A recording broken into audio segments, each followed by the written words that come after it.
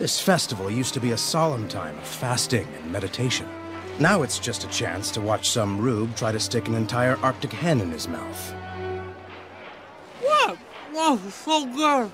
Traditions change. It's not the end of the world.